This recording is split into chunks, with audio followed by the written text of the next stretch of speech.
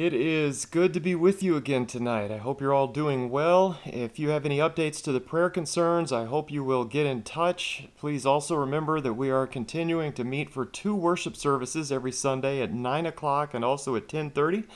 And that gives us some room to spread out in the auditorium so we're not too crowded in there. We can keep some distance between each other. And it helps if we sign up ahead of time to not all be at the same service. So I hope you can do that. That would really help. And that is through the website, also through the email that's sent out every Saturday evening. If you have any trouble with that, get in touch with me or with Kenna. We'd be glad to do the best that we can. If you are listening by phone tonight, if you need any help with this, if you have anything that we need to be praying about, I hope that you will give me a call at 608 224 0274. So I hope you can get in touch in that way or use the contact information on the screen. Tonight we get back to our study of the book of Luke, and by way of review, we know that Luke is the author. He was a medical doctor. Paul refers to Luke as the beloved physician, and we know that he makes a point of researching his account. He was not an eyewitness, he is a second generation Christian. He also makes a point of including groups that were often excluded or overlooked or abused or persecuted in the ancient world widows and women, and Gentiles and Samaritans, as well as a number of various sick people. Uh, last week we looked at the last half of Luke chapter 18 through the first paragraph of Luke chapter 19. We saw Jesus predict his death and his resurrection, which the apostles did not understand at all. Jesus laid it out, and it went completely over their heads. We had the healing of the blind men in Jericho. Then we had Zacchaeus. Zacchaeus, of course, was the wealthy chief tax collector. He was the man who climbed a tree because he was too short to see Jesus over the crowds. And when Jesus came into view, Jesus invited himself into Zacchaeus' home. And by the time Jesus leaves his home, Zacchaeus has a complete change of heart. He promises to give half of his possessions to the poor and promises to repay four times as much if he's defrauded anyone of anything. And at the end of that paragraph, we had Jesus state his mission very clearly for the Son of Man has come to seek and to save that which was lost. And we learned at the end of class last week that if that is Jesus' mission, then it should also be our mission to go out there and spread the gospel and get the word of God out there as much as we can, seeking the lost and directing them to the Lord. Tonight we continue with the rest of Luke chapter 19, and so we hope to wrap up Luke 19 tonight. We will be using the harmony of the Gospels. In case you're interested, as I've pointed out a number of times, the Harmony is available on Amazon for around $25. You can get that in a couple days normally. And it's basically just the four gospel accounts lined up in four columns parallel to one another so we can compare and contrast. And it's going to be especially helpful as we move into the last week of Jesus' life. There are some chronology issues here, a lot of uh, seeming contradictions that are very easily explained if we put them side by side and that saves a lot of time and effort having them right there arranged on the same page, and it's all there in chronological order. Uh, however, uh, in the harmony, we don't have anything between Luke 19:10, where we left off last week, and Luke 19 verse 11, where we pick up this week. And so we move over this evening to Luke 19 verses 11 through 28, and I uh, hesitated for a little bit putting this much text on one screen a lot of words there, but all of it really goes together. It was hard to cut this in half and look at it in two sections, so as usual, I hope you'll have your own Bibles open. And let's look together at Luke 19, verses 11 through 28. Luke 19, 11 through 28. While they were listening to these things, Jesus went on to tell a parable because he was near Jerusalem, and they supposed that the kingdom of God was going to appear immediately. So he said, A nobleman went to a distant country to receive a kingdom for himself and then return. And he called ten of his slaves and gave them ten minas, and said to them, Do business with this until I come back. But his citizens hated him and sent a delegation after him, saying, We do not want this man to reign over us. When he returned after receiving the kingdom, he ordered that these slaves to whom he had given the money be called to him, so that he might know what business they had done. The first appeared, saying, Master, your mina has made ten minas more.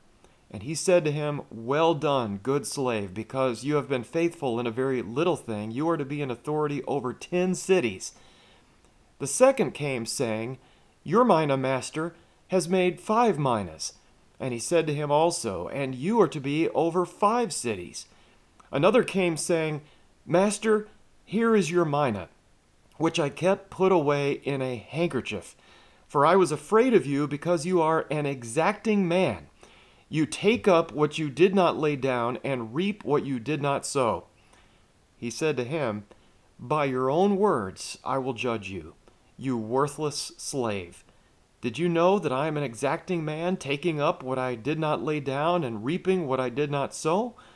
Then why did you not put my money in the bank? And having come, I would have collected it with interest. Then he said to the bystanders, Take the mina away from him, and give it to the one who has the ten minas. And they said to him, Master, he has ten minas already. I tell you that to everyone who has, more shall be given, but from the one who does not have, even what he does have shall be taken away. But these enemies of mine, who did not want me to reign over them, bring them here, and slay them in my presence. After he had said these things, he was going on ahead going up to Jerusalem. In context, when we look at verse 10, where we left off last week, these people listening are the same ones who probably are the ones who had an issue with Jesus eating with Zacchaeus. And so, in response to that, Jesus tells a parable. He's near Jerusalem, he's coming out of Jericho. These people are thinking that the kingdom of God is right around the corner. And so, since they're thinking in terms of the kingdom, Jesus takes this as an opportunity. This is a teachable moment, we might say. And he tells this story. There's a nobleman, and this man leaves for a short time, an unknown amount of time, to receive a kingdom. And to us, that's rather unusual uh, to go somewhere to receive the kingdom that you're going to rule over here. Uh, back then, though, people made deals, a lot of wheeling and dealing going on. They were given political power through marriage or maybe through uh, other deals that were made. And so this man leaves to get a kingdom.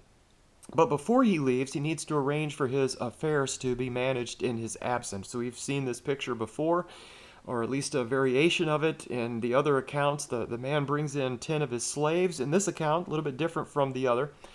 Uh, but in this one, he brings in 10 of his slaves. He gives each of them a mina and he tells them to basically uh, keep the place running while he's away. You know, do business with this until I come back. That is the command. And that's in verse 13. As I understand it, a mina was equal to about 100 days' wages. And so, again, putting this into our formula as we have before, roughly $15 an hour, 10 hours a day in today's economy, uh, we're talking roughly $15,000 given to each of these 10 slaves in today's economy. It's uh, it's not an absolutely huge figure, uh, but that's a lot of money, isn't it? $15,000, that's a lot of money. It's not enough to retire on for the rest of your life, uh, but it is significant, it, it, and it's a good test. How will you handle $15,000?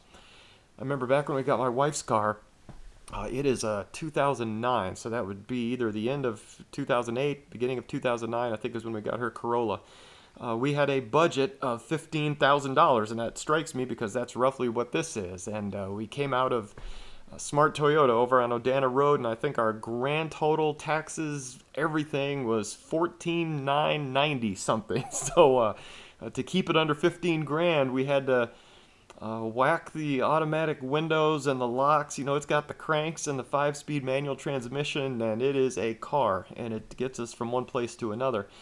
Uh, but I point that out because that's roughly the amount of money that each slave was given, about $15,000 in today's economy. they were given a 11-year-old Toyota Corolla to, uh, to manage. Um, at this point in verse 14, we seem to have something almost unrelated. It kind of wanders here just a little bit, as we find that the citizens uh, where he is currently living, they send a delegation to basically follow him on his journey. And their message to anybody willing to listen, hopefully it gets to the person who's thinking about giving him this kingdom, their message is we don't want this man reigning over us. We don't like him. And so this is the harassment squad. They're going out there trying to give him a bad name. They're following along to make him look bad, uh, I'm guessing, so that uh, whoever is about to give him this kingdom might think twice about it. So they're there just to give the king or future king uh, some bad publicity. Uh, eventually, this ruler receives his kingdom. He returns home to actual, actually do the ruling. And notice when he gets back, he checks in on these servants. And so there is some accountability going on here. The first one has turned his one mina into 10 minas, and that is absolutely huge. So he takes his $15,000 and he turns it into $150,000. And that is a huge profit, isn't it? We would love that. Uh, if I took $15,000 to a financial advisor and I left on a trip, and when I come back, I'm leaving on a trip this coming Sunday. And if I leave him 15 grand and come back and he says, Well, you know, I turned it into 150 grand for you, I would be absolutely thrilled with that. And I think all of us would be to get that kind of return. And so this ruler puts this slave in charge of 10 cities. And his idea is if he can do that with 15 grand or one mina, 100 days' wages, uh, imagine what he can do ruling some cities. And so he gives them that responsibility. Uh, obviously, if this ruler has just received a kingdom, he's coming back and he needs to get things up and running. And so he needs people that he can trust. He's looking for responsible people to put in charge of some areas here. So the, the minas were a test, and this first servant absolutely passed the test. Notice the second slave comes in, and he's turned his mina into five minas. And that's also very, very good, isn't it? If you had $15,000 and turned it into, I'm not good at math, I think it's 75,000, right? Some 15, 5 times 75. So 75K. Um, if you could do that with a financial advisor, that's also awesome, and that that's a good return. And so this slave is then put in charge of five cities, and so there's some proportion there. The guy who really got it done is given more responsibility. The guy who does really, really well, but not as good as the other guy, is given some responsibility, but not quite as much.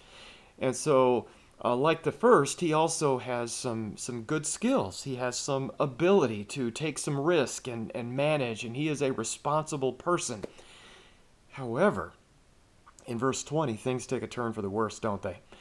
and we have one of the slaves. We don't even have a report from all 10. We just have the one, the second, and now number three. It all falls apart there. And so one of the slaves comes in and he returns his mina in a handkerchief, untouched, and he rips on the ruler. And, and based on what he says, I don't know if insulting the ruler was really the best thing to do at this point, but he accuses the ruler of being an exacting and unreasonable man and so he's blaming his boss, isn't he? I, I can't believe how terrible you are as he comes and tries to explain how he came back with the exact same amount he was given. And so instead of being diplomatic, instead of thanking the ruler for entrusting him with this great responsibility, thank you, sir, but I just couldn't do it. I mean, that could have at least maybe gone a little bit better. I don't know. But instead of doing that, there's none of that. But instead, he's insulting the man. I knew you were a terrible human being, so therefore I didn't do anything with this money you gave me. That's, that's a horrible response. Starting in verse 22, then, the ruler turns this around.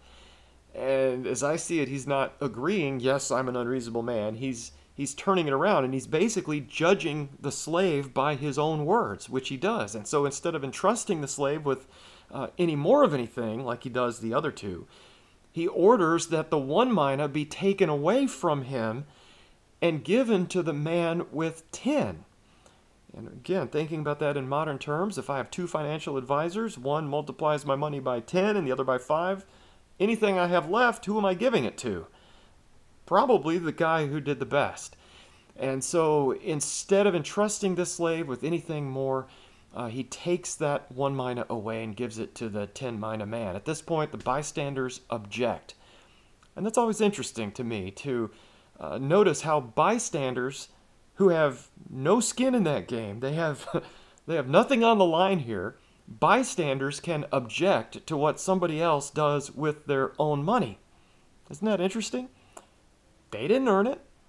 This doesn't affect them in any way, as far as we know, but they think they have a say in this, which they don't. They think it's not fair. And again, how does it hurt them that some other guy has 11 minas instead of 10? It, it doesn't affect them, really. And in fact, the ruler explains that to everyone who has, more shall be given, but from the one who does not have, even what he does have shall be taken away. And remember, this is not random, but instead the 10 mina man uh, did something incredible to multiply his minas. The other guy reacted in fear and with excuses. That is not the kind of person you want to put in charge of anything because it will just get worse from there. So he is undeserving of any more responsibility. And again, if I give a financial advisor $15,000 and come back in a few years and he says, Well, I know you're a terrible person, so um, here's the check that you gave me for 15000 I, I was too scared to invest it. Uh, I'd be irate um, because what has that done to us? It's taken our $15,000 and now inflation has most likely happened and now our 15,000 is worth only 10,000 or less and we see how that goes. We would be really mad because we could have given it to somebody who could have done something with it. Then we seemingly uh, randomly get back to the protesters. Uh, the, the ruler orders that the whiners from verse 14 be taken out and killed. And I kind of think, what in the world? I, I mean, to make any sense of this, I think we need to remember that the first hearers of this story are most likely those who complained that Jesus was going to be the guest of a man who is a sinner. Remember that? Just in that last paragraph we ended with last week. When Jesus invited himself into Zacchaeus' home, they said, Oh, he's going to be the guest of a man who's a sinner, and they were all upset about that. Well, I'm guessing then that these people might have seen themselves here. I mean, anybody with any level of wisdom can hopefully see what Jesus is getting at. You people whining about me eating with Zacchaeus, you're the guys getting whacked in this parable. And it seems that the rest of it with the minas probably has something to do with Jesus establishing his kingdom.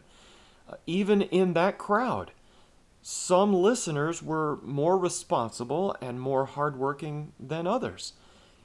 And with just a short time left until his death, burial, resurrection, and ascension back into heaven, Jesus is looking for some people to lead. He's like this king coming back from a, a nation uh, with uh, the new ability to govern, and he's establishing his kingdom. And he's looking for leaders. He's looking for people like the 10 mina man. And at the same time, Jesus has no plans to deal with excuses. He doesn't have time to deal with that. And so he's looking for responsible people. And so you know, that's our guess of what this probably means. And I say this because Jesus doesn't explain this parable as he does many of the others.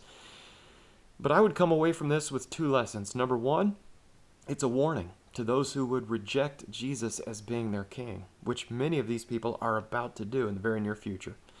And then, secondly, it's an encouragement to his disciples to use their kingdom resources wisely. Demonstrate to Jesus what you can do with what he gives to you.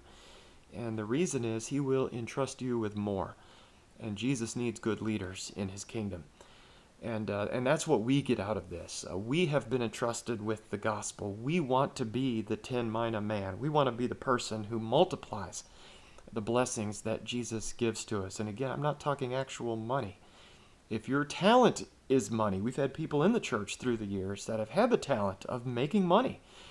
And if that's your skill, go for it. But if your skill is making the church building presentable for visitors by making sure that it's clean or mowing the grass or editing Bible correspondence courses or visiting people in prison or dropping off a lasagna or whatever it is. We need to do the work of the Lord with all of our might and do the best we can to be the 10 mina man.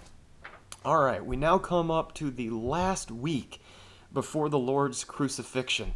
In terms of the chronology in the harmony, notice how the next section, John 11, 55 through 12, verse 1, is labeled as section 185.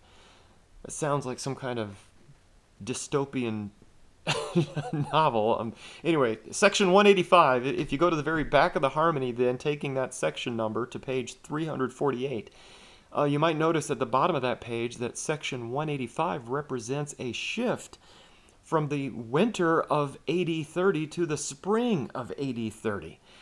And in particular, the Passion Week is how it's labeled in the Harmony and in many of the commentaries that we might look at today. Uh, today, when we hear the word passion, what do we think about? Often we think in terms of romance, don't we? If we somebody's being passionate, you know, a certain picture comes to mind. Uh, being in love with somebody. But uh, the, the term Passion Week goes back to the Latin word for suffering. It is, oh, well, interesting tie between passion and suffering. Uh, it is the same root word, by the way, as our English words compassion or sympathy. The same concept there, to suffer with or alongside somebody. And so we've now arrived at the week of Jesus' suffering, the Passion Week. And I just say that by way of background. We'll see that term from time to time. If you have the harmony, if you're still there, notice uh, we have greater detail on page 349 as we have a more detailed description of what happens during Passion Week. It's broken down by day, uh, sometimes by morning and evening on that little chart we have there, I think on the right hand side of the page. I don't have my harmony. I'm out here in the garage again in front of the woodpile. Uh, but I point that out because that chart on that page, again, um, I think page 349 at the back, uh, that chart might be helpful as we move forward in this study. Uh, in this passage, John 11, 55 through 12, 1, back on page 174 in the Harmony, we find that the Passover is at hand. And this is a huge deal for the Jewish people. They're getting ready to remember and to celebrate the angel of the Lord passing over and not killing the firstborn in Egypt for anybody who had sacrificed a lamb and put the blood of that lamb around the doorpost as God had instructed. And this week will culminate with the sacrifice of a lamb. This, we referred to this in our sermon on blood just this past uh, Sunday. We plan on touching on that briefly again this coming Sunday. In John 11:55, we find many people came to Jerusalem to purify themselves. Uh, there was some preparation involved before they could participate in the feast later in the week. And as the people start to come into Jerusalem, they're talking about Jesus. They're cleaning themselves up after the long trip. They're getting ready to worship and they're wondering whether he'll show up at all. People are talking about this. There's this guy Jesus. He's doing things, and is he going to show his face? Uh, in verse 57, we find the Pharisees had given orders that if anybody sees Jesus, they are to basically turn him in so that they can take him into custody. So they're looking for an excuse to take Jesus out. And so that's what's going on then. Jesus, he shows up in Bethany. That's a village just out of uh, outside of Jerusalem. And again, this is six days now before the Passover feast. If we go back to where we are in the Harmony on page 174, notice we now have some material in Matthew, Mark, and John that is not found in Luke. Uh, there are some interesting notes on the chronology in the footnote at the bottom of page 174. Basically, it's out of order. In Matthew and Mark, they put it where they do to try to contrast Mary's attitude with the attitude of the religious leaders. But John puts it where it goes chronologically. Luke just skips this altogether. Basically, Jesus is in Bethany at the home of Simon the leper, and a woman by the name of Mary comes in as he's eating, and she breaks this vial of expensive perfume and she pours it over the Lord's head. Judas, though, objects to that. How dare this woman waste this expensive perfume? And he claims that the perfume could have been sold for 200 denarii and the money given to the poor. A denarius was a day's wage. And so this vial of perfume is the equivalent of 200 days of working. And again, here in Madison, what does the average person make in terms of dollars in a 200 day period? Well, that's hard to figure, depending on your education, experience, what you're doing for a living, and all that. But again, if we take an hourly rate of 15 an hour for 10 hours a day, multiply that by 200 days, that bottle of perfume was perhaps worth around $30,000 in today's economy. Again, it's not exact, but have any of us ever even touched a bottle of perfume worth $30,000? Uh, I have not. if you've touched a $30,000 bottle of perfume, I would love to hear about that. Uh, John, as the last one to write his gospel account, points out that Judas objects only because he had the money box and used to pilfer what was put into it. And I think that's the only place where we see this. That's the only way we know Judas was a thief. It's because of this we learn that Judas, the treasurer of the group, not only betrayed the Lord in a little bit, but he used to steal from their common funds. Uh, we know Jesus was supported financially by a number of women, among others, and that allowed him to leave carpentry. That was his trained profession, carpentry. but that allowed him to preach full time instead of working with carpentry full time. And so he went full time for the last three and a half years. He could do that through the sacrificial giving of a number of people, including a number of women. Uh, Judas, though, kept those funds in a box and he would regularly take advantage of people's generosity, uh, stealing those funds from the Lord himself. That, that is bold, isn't it? Uh, to take the Lord's money. Uh, nevertheless, Jesus tells Judas to leave the woman alone. Imagine what Jesus could have said. You think Jesus knew that Judas was a thief? Imagine what Jesus could have said here. You know, I'll tell you what, Judas, I know why you're concerned about this money, but Jesus doesn't go there. Um, notice this is where he says in Matthew's account, Why do you bother the woman? For the poor you have with you always, but you do not always have me. For when she poured this perfume upon my body, she did it to prepare me for burial. Truly I say to you, wherever this gospel is preached in the whole world, what this woman has done shall also be spoken of in memory of her. And here we are. And we're talking about this woman 2,000 years later on the other side of the world. That's an awesome thing. That's what this woman did. She wanted to do this for the Lord. Many people consider it a waste. A lot of other things could have been done with this bunny, but she was the only one who did this. In John's account, we have crowds gathering in Bethany, hoping to get a glimpse of Lazarus, the man Jesus had raised from the dead a little while back. We also learn that the chief priests were trying to figure out a way to put Lazarus to death, also, trying to kill him. Lazarus was evidence of Jesus' deity. Lazarus had to go. And this brings us now back to Luke's account. I know we've taken a detour through the others here to a passage that some have used to accuse Jesus of being a horse thief right? I read an article many years ago. I read it again um, just today, uh, written by a woman from right here in Madison who helps lead a nationwide atheist organization.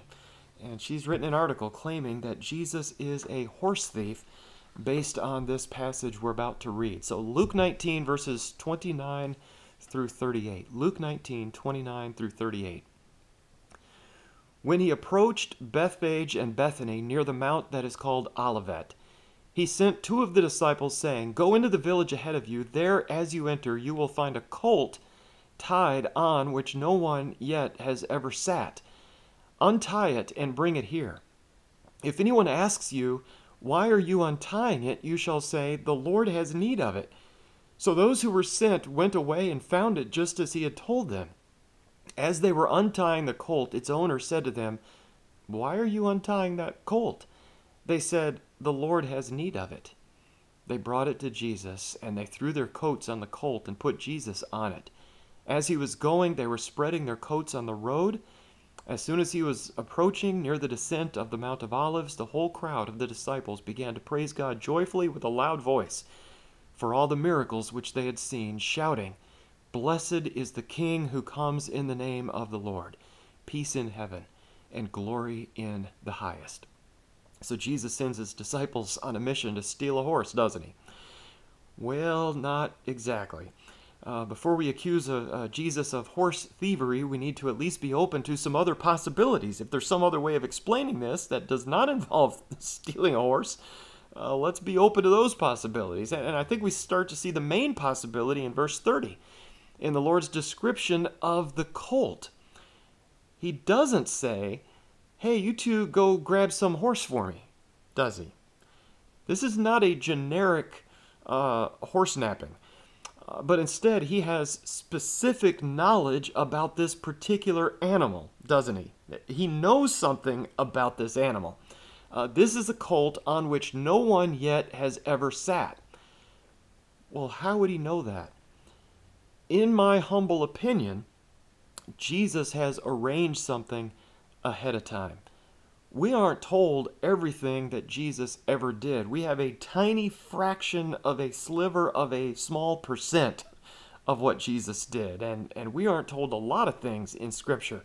Remember, we only have a record of events from roughly 40 days in the life of Christ. And we don't even have everything that happened on those 40 days. We just have little bits and pieces out of three and a half years of ministry. There is so much we don't know, including how he knew that no one had ever sat on this colt. And so that's at least one possibility. All kinds of things could have happened here. I, am thinking Somebody like Zacchaeus, who promised to give half of his stuff to the poor, probably said, You know, Lord, thanks for curing my blindness. If you ever need anything, let me know. Could have very easily been one of those situations. Uh, the other possibility is that Jesus is aware of this animal and sends his disciples out as a test of the owner. The owner might have been somebody like the rich young ruler or like Zacchaeus. He might have had resources. And so the question is will he make those resources available to Jesus whenever needed? The Lord has need of it. And so the question is will you supply the Lord's needs or will you turn him down on this occasion? Uh, besides, in Mark's account, in Mark 11, verse 6, Mark says, And they spoke to them just as Jesus had told them, and they gave them permission. Okay? This definitely is not stealing a horse. Permission has been granted. And that's something that we gain from having these accounts laid out side by side. It makes it a little bit easier to see that. If we look at Matthew's and John's accounts, we find the reason for all of this. It has been prophesied. Jesus riding into town on a donkey is the answer to prophecy. Matthew, by the way, is the one who mentions both a colt and a donkey. There are actually uh, two animals involved in this, although Mark and Luke only refer to the colt. John refers to a donkey. As I understand it, Bethany is several miles from Jerusalem a few possibilities here. It's possible Jesus switched between the two animals as he traveled. Uh, we also need to realize that colt does not necessarily mean horse. In my English speaking mind, a colt is a horse. Well, a colt is a firearm, uh, but a colt is a horse. Uh, but I've learned this week that the word colt, as it's used in this passage, actually refers to a young donkey. And so when we combine the three accounts, we're referring to uh, a mother, the mother donkey, the, the older donkey, and her colt or foal or young donkey. As I understand it, Jesus rides the young donkey into town, but the, the mom, perhaps we might say, is along for the ride to provide some sense of calm uh, for her son. That's kind of a weird way of putting it, anyway. Um, Apologetics Press has a great article, apologeticspress.org. Great article on the whole donkey colt issue, and it goes into great detail explaining what's going on here. And I'll try to put that in the description of the video. I'll try to email it out if I remember to do that. Otherwise, feel free to look that up, apologeticspress.org, and search for donkey colt, and I'm sure you'll find it be probably the first article. Uh, all of this seems to be quite the procession, doesn't it? We think about the president coming to town. You got the motorcade and the ambulance and the armored cars, you know, and all that. In verse 36, people are putting their garments in the road. Uh, Matthew and Mark refer to the crowds cutting branches from the trees and laying those out in the road as well. This is where we get the idea of Palm Sunday.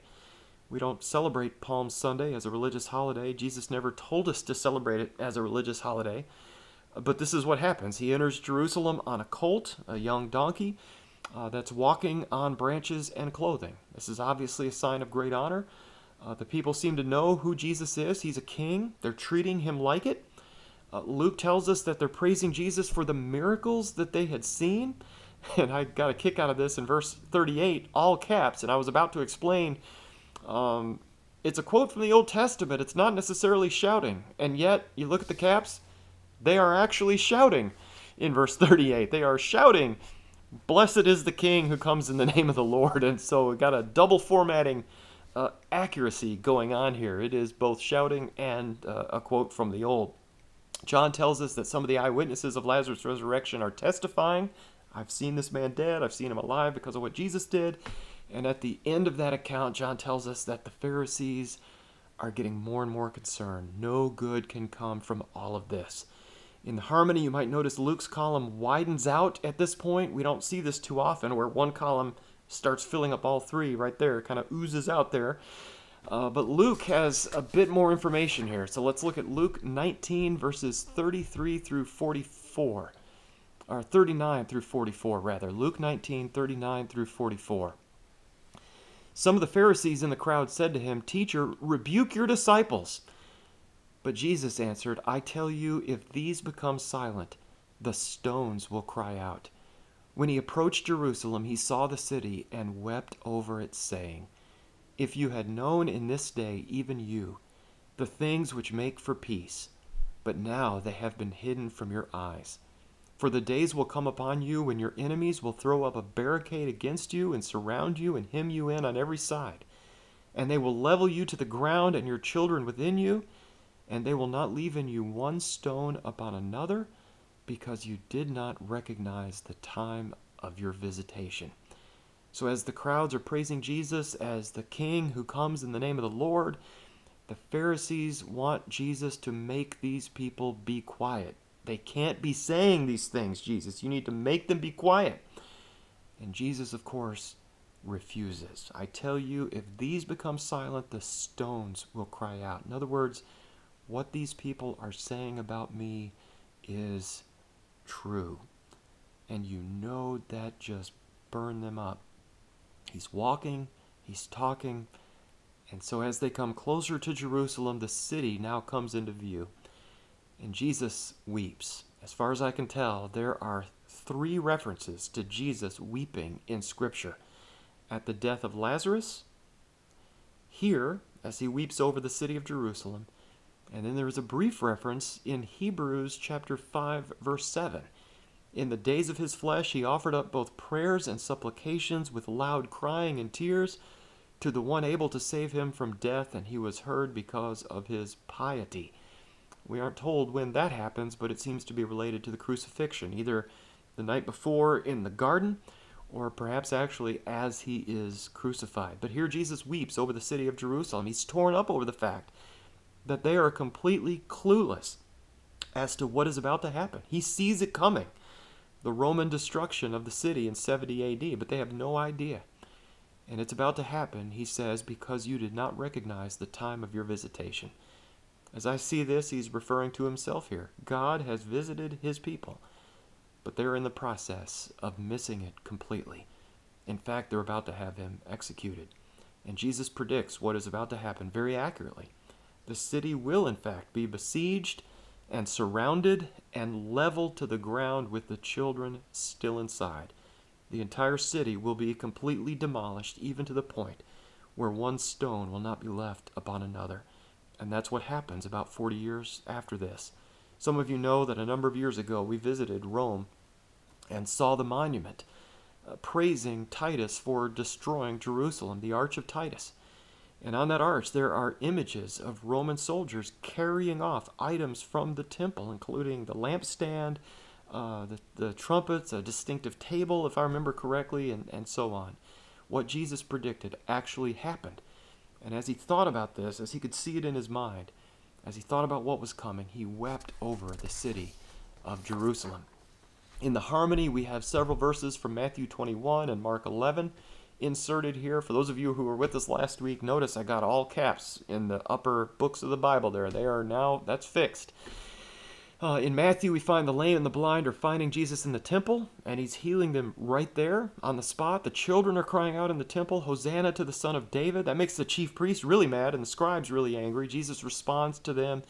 He then goes back out to Bethany for the night, and so he's staying in Bethany but coming into the big city every day.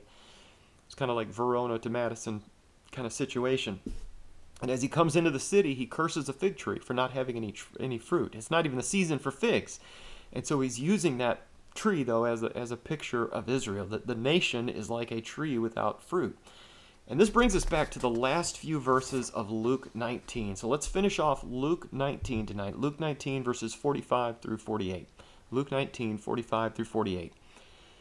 Jesus entered the temple and began to drive out those who were selling, saying to them, It is written, And my house shall be a house of prayer but you have made it a robber's den. And he was teaching daily in the temple, but the chief priests and the scribes and the leading men among the people were trying to destroy him, and they could not find anything that they might do, for all the people were hanging on to every word he said. This is the second cleansing of the temple. It might be easy to miss this if we didn't have the harmony, because the first cleansing of the temple happens in John 2. That's right near the beginning of Jesus' ministry. This one comes in Matthew, Mark, and Luke near the end of his ministry, so at least three years have gone by. Uh, Mark makes it clear this happens on the next day after the triumphal entry, so we're now on Monday of the Passion Week in the Harmony on page 179. Uh, you might notice right after it says uh, section 189, second cleansing of the temple, it then says CF period section 34. Uh, CF is an abbreviation for a Latin word confere or confer, meaning compare.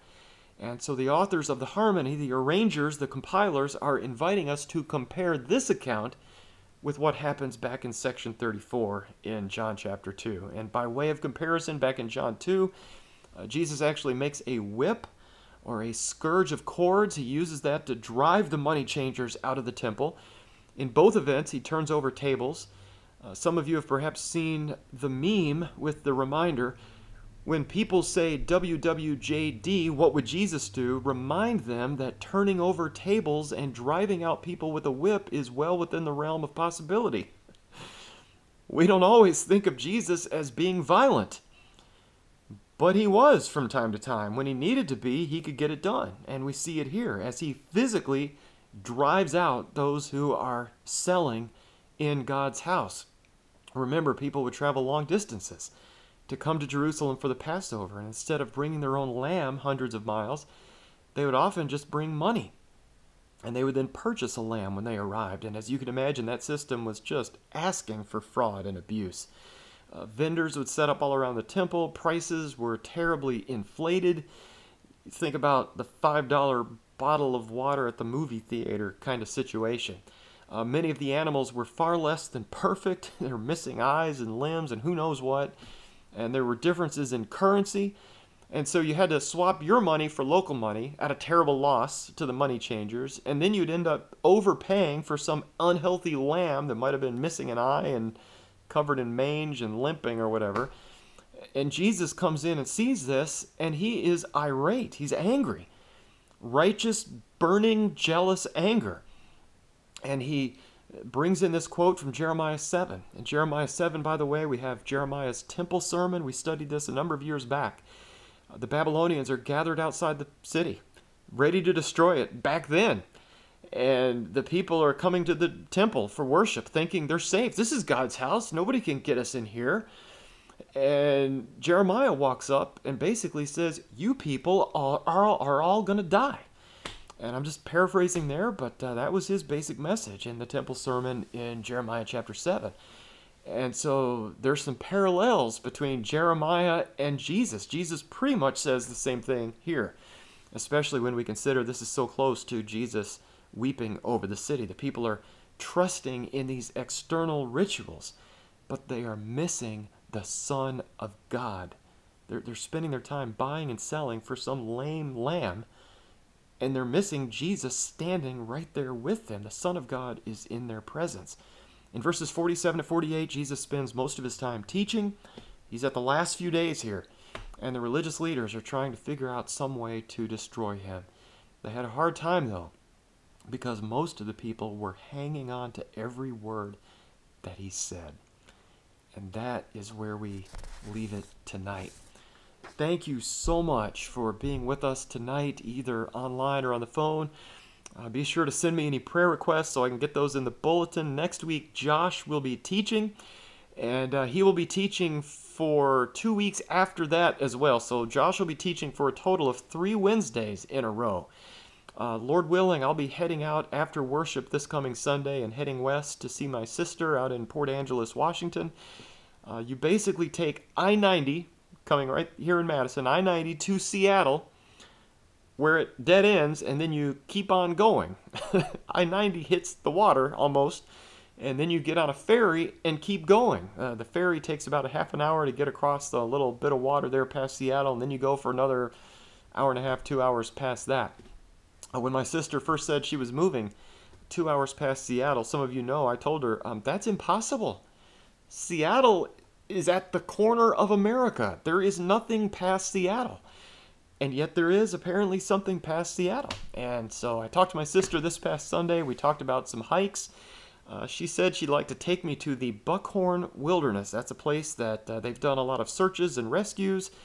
Uh, most of you know by now she volunteers with search and rescue out there in the Pacific Northwest. And uh, so if I go missing, have the authorities question my sister she has done something to me. Um, so she might have disposed of me somewhere out there in the Buckhorn Wilderness. But uh, I am looking forward to the trip. I hope to be back in a few weeks. I'll be with you this Sunday and then leave right after that if the Lord wills. But I hope you'll remember me in your prayers over the next several weeks. Uh, let us close tonight by going to God in prayer. Our Father in heaven, as we have learned from Luke tonight, we pray that you would bless us, and we praise you as the great and awesome God who has entrusted us with the gospel. There's a time coming when we will be held accountable for what we've done with this great treasure that you've given to us. And so we pray that we would be good managers, that we would teach, that we would share, that we would get the word out, that we would be good and faithful stewards. Thank you, Father, for our Christian family here in Madison.